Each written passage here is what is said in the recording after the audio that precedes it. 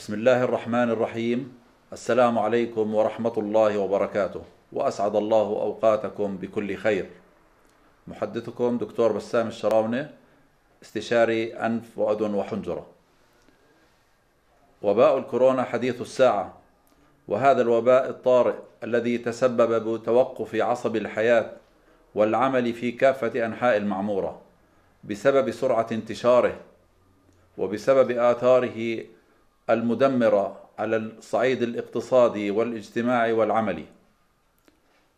ولأهمية هذا الموضوع وبدعم من شركة عمان للصناعات الدوائية ارتأينا باستضافة نخبة من الزملاء الأطباء والصيادلة في الأردن للحديث عن تداعيات أزمة كورونا الواقع والمستقبل. منذ بداية تفشي المرض في الأردن قام جلالة الملك عبد الله الثاني ابن الحسين المعظم بتوجيه الحكومة إلى عمل مجموعة من الإجراءات لحصر هذا المرض ومقاومته. عن هذا الموضوع يحدثنا يحدثنا الدكتور عبد الستار وريكات رئيس قسم الاختصاص في الأنف والحنجرة في وزارة الصحة. بسم الله الرحمن الرحيم. بدي أحكي عن دور وزارة الصحة بالنسبة لوباء فيروس بالنسبة لوباء فيروس كورونا. وزارة الصحة ممثلة بوزير الصحة الأكرم قامت ومنذ بداية وباء فيروس كورونا بالعمل كفريق واحد مع جميع مؤسسات الدولة وذلك بتوجيهات من صاحب الجلالة الملك عبد الله الثاني بن الحسين المعظم. قامت الوزارة بالعمل مع القوات المسلحة والأجهزة الأمنية والدفاع المدني وأمانة عمان وكافة البلديات في المحافظات والنقابات المهنية ومتطوعين من القطاع الخاص. قامت ومنذ البداية بإرسال فريق طبي إلى مدينة ووهان الصينية لإجلاء طلاب وأفراد أردنيين وعرب. تم تشكيل إدارة خلية أزمة.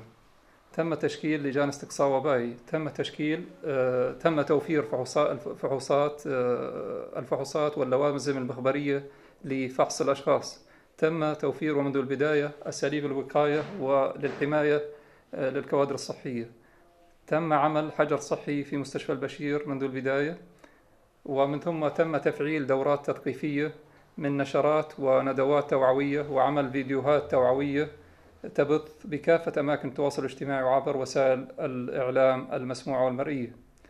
تم حجر صحي في على جميع القادمين عبر الحدود للوقاية من الإصابة للمواطنين وذلك بالحجر بالفنادق في بمختلف المناطق.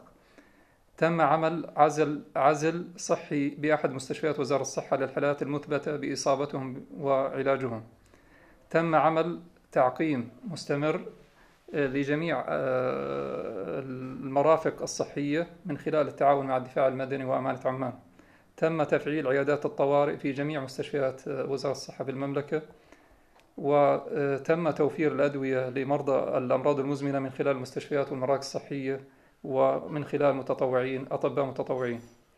وتم التعاون مع الدفاع المدني لنقل المرضى خاصة في بأوقات